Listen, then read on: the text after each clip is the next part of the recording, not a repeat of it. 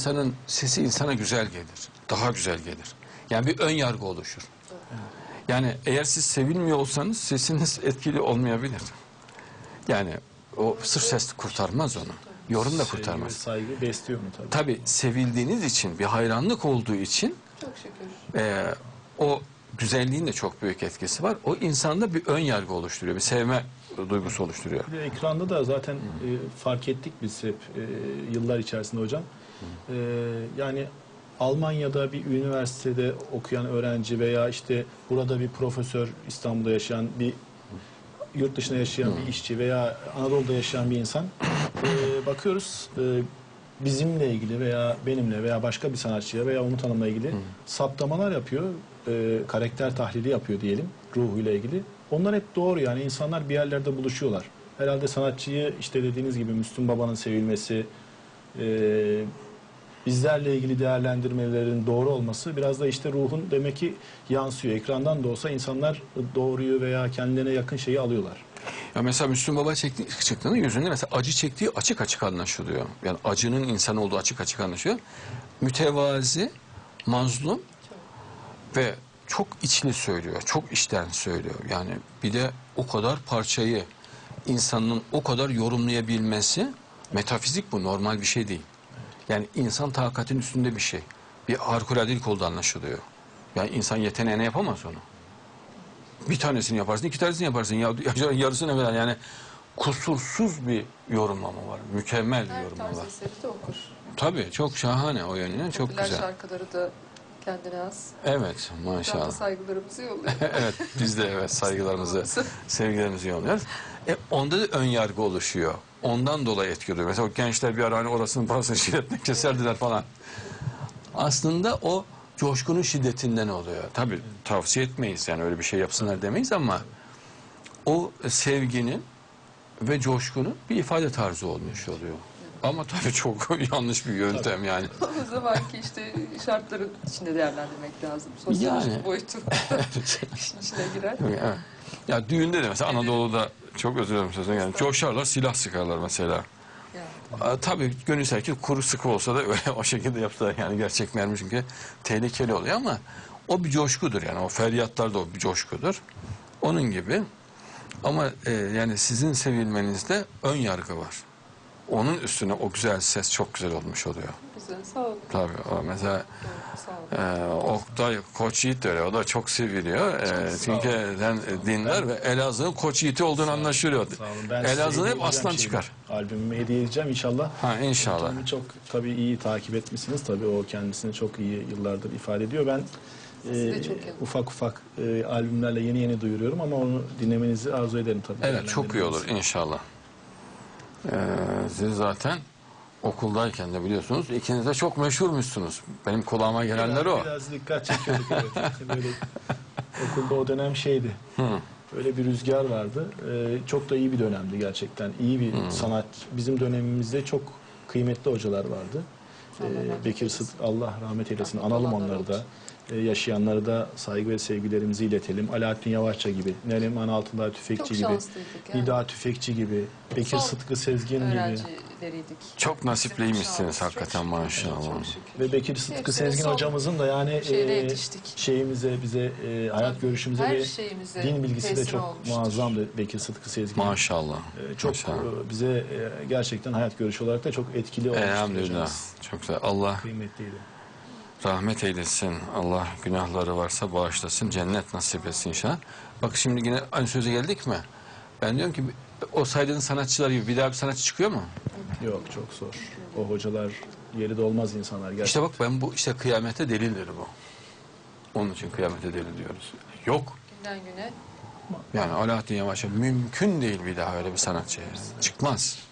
Yani kıyamete kadar çıkmaz Allah aşkına. Şeyim Bekir Bey'im ama biz böyle şikayet ederdik. Sanatsal se- serzenişlerde bulunurduk. O şey bizi işte- söylerdi hocam. Her karanlığın üzülmeyin bir aydınlığı vardır güneş gibi böyle bir batar, doğar yani diye bizi belki Biraz de bizi şeyle e, çok fazla açmıyordu ama sanki böyle bir insanlıkta hocam e, batıp çıkmalar olmuş yani değil mi? Zaten yani hep olmuş. bir daha olmaz dediğimiz Kabirler şeyler hep- belki de e, farklı boyutlarıyla tabii olabilmiş midir, olmuş mudur? Öyle bir şey de vardı hocamızın sanki. Çünkü çok e, büyük toplumlar ve topluluklar batmış e, ve yeniden e, farklı bir şekilde yeniden büyük yükselişler olmuş. E, Allah'ın hikmeti tabii bilmiyoruz ama tekrar Son Mehdiyet işte. Mehdiyet çağrında o zaman sanatçı olacak. O zaman olur. Yani hakikaten güzel ressamlar çıkacak. Bilim adamları çıkacak. Efendim, mimarlar çıkacak. Tıpta muazzam gelişmeler olacak. Yani insanlar dünya varmış bir Ferahlayacak. Hatta hadiste diyor Peygamberimiz sallallahu aleyhi ve sellem mezardakiler bile imrenecekler diyor. Yani e, keşke biz de o hayatı yaşayabilsek. de. Evet. Barış içinde yaşayacak falan hep yaşayacak. Maşallah. Söyleyeyim.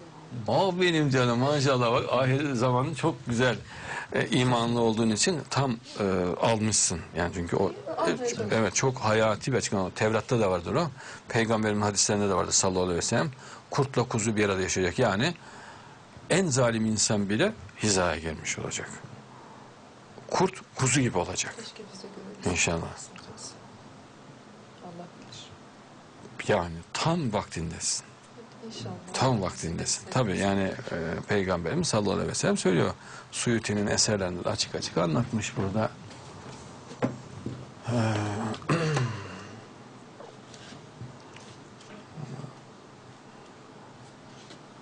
Efendim Hazreti Mehdi'den sonra gelecek olan kişi diyor Hatime. Evet dünyanın ömrü çok açık.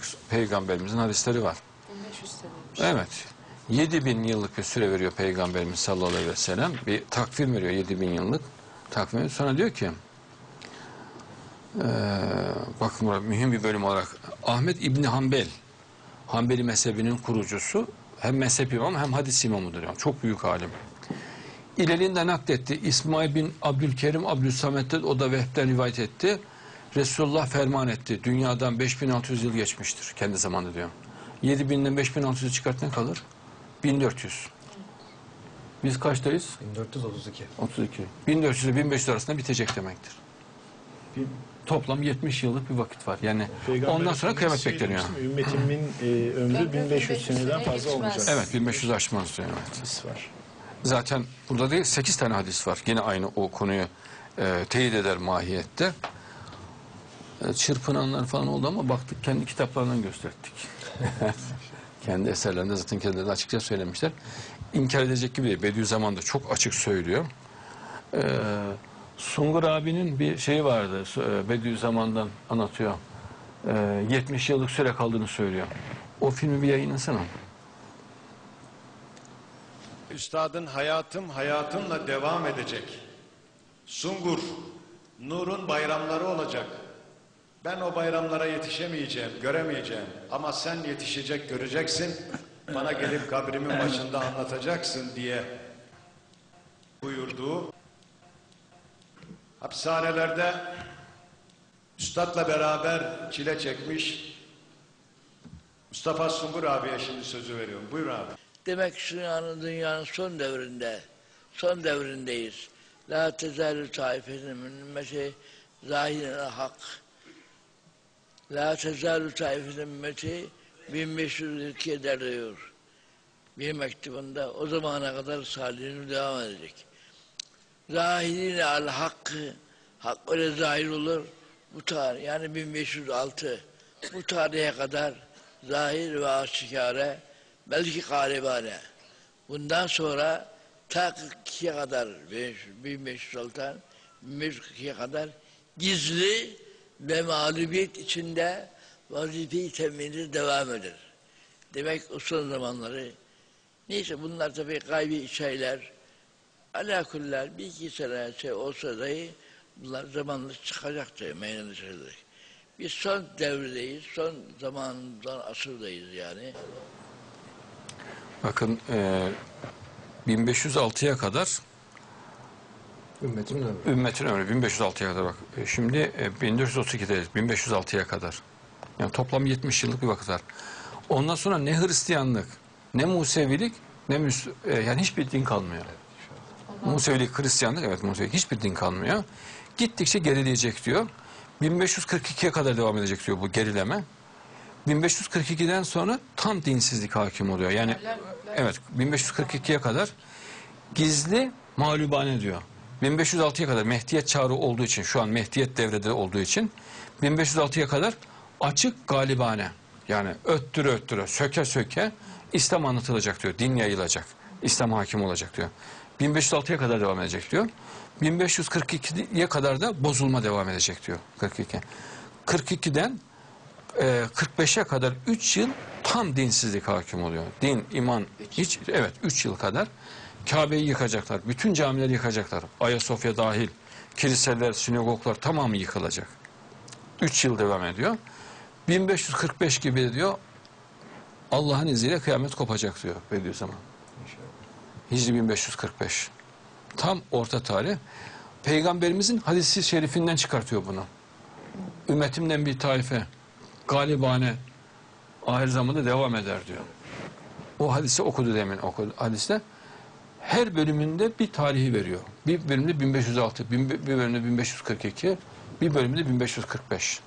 Yani e, hepsi o hadisin içinde kodlu. Ayrıca Fatiha'dan çıkartıyor Bediüzzaman. Fatiha'nın içerisinden de çıkartıyor. Başka e, konularda da aynı şekilde ama asıl e, kaynağı tabi hadistir. Peygamber Efendimiz hadislerinden göstertiyor. E, fakat şimdi e, insanların tam kanaatinin gelmesi bak 10 yıl içerisinde İttihat-ı İslam olacak, Türkistan Birliği olacak. Yani sözümün doğru olduğunu bir kere bundan görmüş olacaklar.